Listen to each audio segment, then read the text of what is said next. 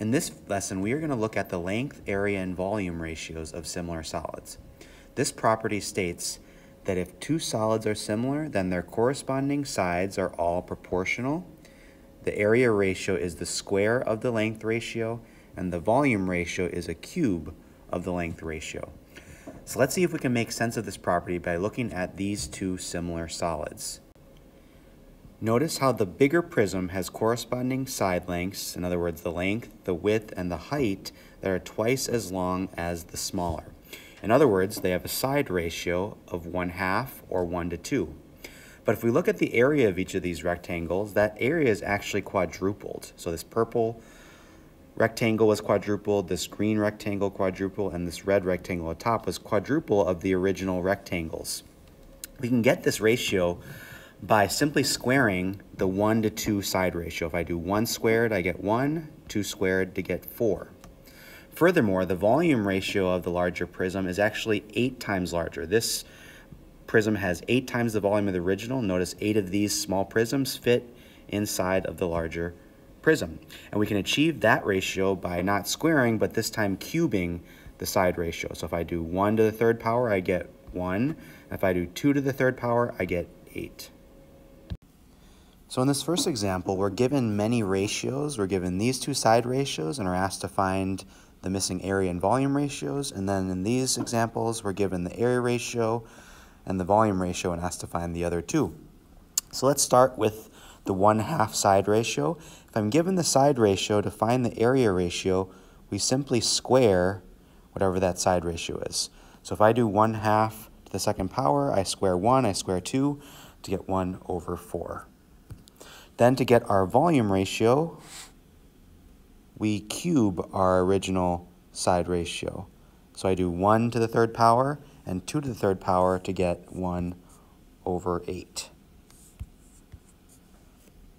Similarly, we can square 5 fourths to get our area ratio of 25 over 16, and we can cube 5 fourths, in other words, raising it to the third power to get 125 over 64. Now for the next one, if I start with the area ratio, I need to go backwards and get rid of the square. To undo the square, we take the square root of whatever that area ratio was.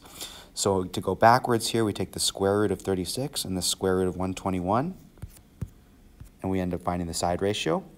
And recall that to go from the side ratio to the volume ratio, we end up cubing the side ratio. So 6 to the third power is 216, and 11 to the third power is 1,331.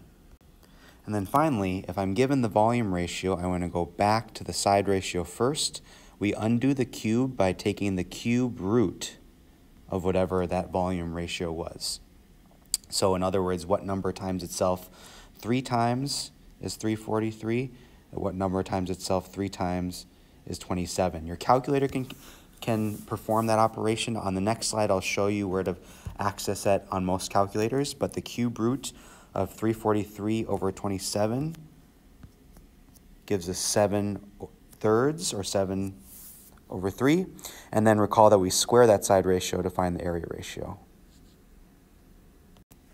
So if you're wondering how to find the cube root on a calculator, you can take a look at these screenshots of both Desmos and a TI-30 calculator that will show you how to get the cube root of a number. So just pause the video, take a look, and make sure you know how to find the cube root on whatever calculator you're using.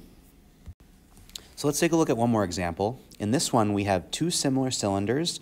The small cylinder has a radius of 3 centimeters, a surface area of 245 square centimeters, and a weight of 4 pounds. We also know the larger cylinder has a radius of 7 centimeters. So from that key information, that gives us the radius ratio, in other words, the side ratio, the one-dimensional length ratio of these two cylinders. So in question one, if we're trying to find the surface area, we need to square that side or length ratio to find the area ratio because of course surface area is a, is a two-dimensional representation of area. So I square 3 sevenths, I get 9 over 49. I'm now ready to set up a proportion with that new area ratio given the surface area of the smaller cylinder that I already know. The smaller cylinder's surface area was 245. Because I wrote my ratio as 9 over 49, small over big, the 245 has to go on top.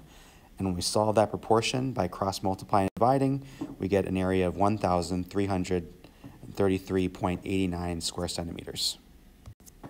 So for example, two, we're asked to find the weight of the larger cylinder. Now weight is a representation of volume, so the first step is finding the volume ratio. We recall that we cube the original side or length ratio, so we get 27 over 343.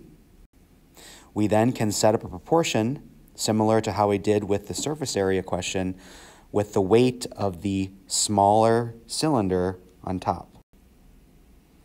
We set up and solve that proportion. 4 times 343 divided by 27 will get us our total volume, in other words, in pounds, of the larger cylinder.